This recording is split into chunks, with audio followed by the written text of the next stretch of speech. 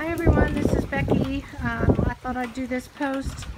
Um, everyone's asking us how we're doing here on Lake Conroe with Lake, I mean with um, Hurricane Harvey.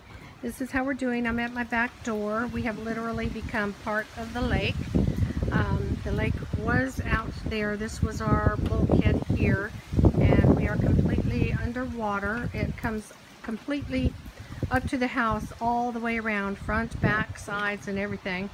Um, so right now we're doing okay because we are still dry inside um, and still have electricity, but um, we are probably mm, three, four to five feet in some of the spots around the house uh, deep in water.